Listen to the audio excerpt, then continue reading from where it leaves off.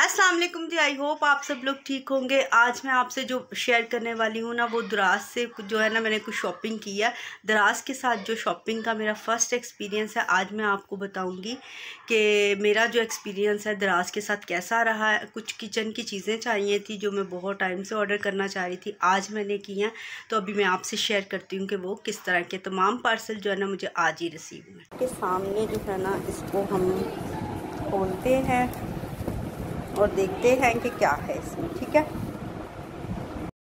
अभी मैं आपके सामने जो है ना इनको ओपन करूँगी और ख़ुद भी देखूँगी कि इनकी क्वालिटी वगैरह ना कैसी है। क्योंकि ये मैंने काफ़ी टाइम से किए हुए थे ऑर्डर जो है ना मुझे काफ़ी लेट रिसीव हुए। इनमें से जो दो चीज़ें थी ना, वो तो बिल्कुल ठीक टाइम पे हो गई थी मुझे वन वीक के अंदर ही जो है ना मिल गई थी। तो ये जो मैं अभी आपको दिखा रही हूँ ना, ये मुझे काफ़ी लेट हुआ है तकरीबन दो तीन हफ़्तों के बाद मुझे रिसीव हुआ था। बाकी जो है ना मुझे वन वीक में ही मिल गए थे। तो अभी जब मैं आपके सामने जो ओपन कर रही हूँ ना, ये मैंने मंगवाया था सिलिकॉन रोटी मेकर जो होता है ना, आप शेल्फ पे बिछाते वैसे तो आप, मैं यूज़ कर रही थी कोई शीट या कोई रुमाल वगैरह जो भी होता है ना रोटी का, वो नीचे जो है उसको बिछा लेती थी। लेकिन मुझे ना काफ़ी मुश्किल होती थी क्योंकि वो तो फ़ौर ही जो है ना, आपको पता है कि जैसे ही आप रोटियाँ बनाते हो तो आटा गिरता था तो वो ना काफ़ी ख़राब हो जाता था। मुझे बिल्कुल अच्छा नहीं लगता था। तो ये मैंने दराज पे देखा और मुझे बहुत अच्छा लगा। इसको काफ़ी लोग यूज़ भी कर रहे हैं। आपने अगर देखा होगा ना वीडियोस आप देखते हैं नताशा वकास की तो वो बहुत इसको यूज़ करती हैं अपनी शेल्फ पे ना। और फिर मैंने जब दराज पे इसको सर्च किया ना तो मुझे बहुत अच्छा लगा।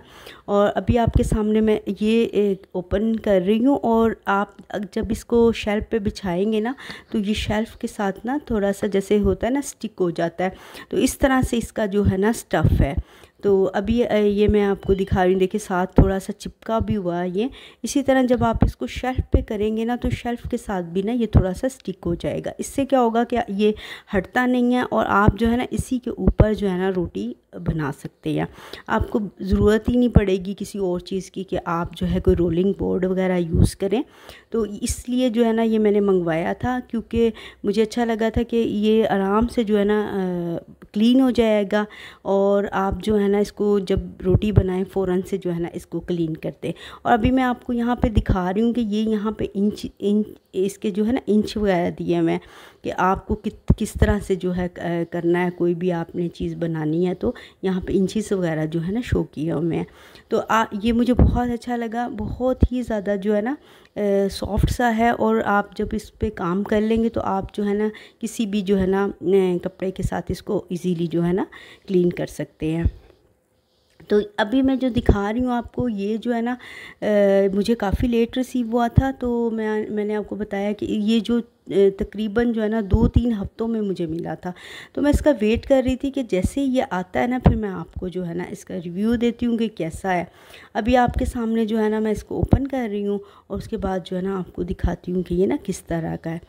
तो क्योंकि ये मुझे दो तीन हफ्तों के बाद मिला था लेट मिला था और बाकी जो ये दो चीज़ें हैं ना, ये मुझे जो है ना वन वीक में ही रसीव हो गई थी। तो अभी मैं आपको ये चेक कराती हूँ कि ये किस तरह का है, इसकी क्वालिटी कैसी है और जो है ना इस वाकई ये वैसा है जैसा मैंने जो है इसको देख के ऑर्डर किया है। तो फिर आपको बताती हूँ कि ये किस तरह का है ठीक है? आ, अच्छा ये है एक ना रोलिंग बोर्ड है। आपने देखा होगा कि जो होता है ना स्टेनलेस जो स्टील का जो रोटी मेकर होता है सॉरी रोलिंग बोर्ड होता है ये वो वाला है ठीक है? अच्छा यहाँ पर मैंने जो है ना रोलिंग बोर्ड ओपन कर लिया ये देखें इसके जो है कवर से वो मैंने उतार दिए हैं। अब मैं आपको इसके बारे में जो है ना ऑनेस्ट रिव्यू ये दूँ, क्योंकि मैंने अभी इसको यूज़ नहीं किया, आपके सामने इसको ओपन किया है। अगर देखा जाए ना तो इसका स्टैंड भी ठीक है और इसका जो रोलर है वो भी अच्छा है, लेकिन इसका जो बोर्ड है ना, वो मुझे बिल्कुल पसंद नहीं आया। बिल्कुल ऐसे लग रहा था जैसे लो क्वालिटी का है और अंदर जो है ना कोई और चीज़ है और ऊपर से जो है ना किसी भी लो क्वालिटी की स्टील की शीट के साथ जो है ना इसको कवर कर दिया गया है। तो इस, ये जो है ना रोलिंग बोर्ड मुझे इतना ख़ास पसंद नहीं आया। अगर आप ये देखें कि अलेवन हंड्रेड इसकी प्राइस है तो प्राइस के के साथ अगर आप इसको कंपेयर करें ना तो आपको स्टैंड भी स्टील का मिल रहा है और रोलर भी जो है ना बेहतर है। लेकिन बोट की जो क्वालिटी है ना, वो मुझे इतनी अच्छी नहीं लगी।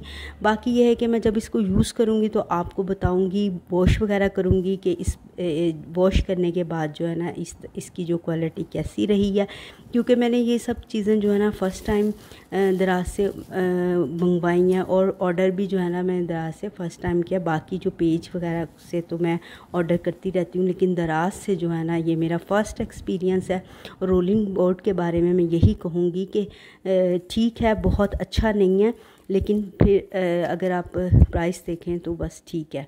और अब जो मैं आपको दिखा रही हूँ, ये मैंने जो है एक बॉक्स मंगवाया था मसालों के लिए किचन में तो इसकी भी क्वालिटी जो है ठीक है और इसके अंदर जो है ये सेवन बॉल्स हैं और साथ में जो है एक स्पून है छोटा सा तो इसमें इसके जो आप काउंट करें तो सेवन बॉक्स हैं बॉक्स जो है ना इतने बड़े नहीं हैं, ठीक है, अच्छे हैं, जिस तरह से आप जो है मसाला वगैरह डालते हैं तो आपका जो है ना अच्छा सा जो है ना चल जाएगा।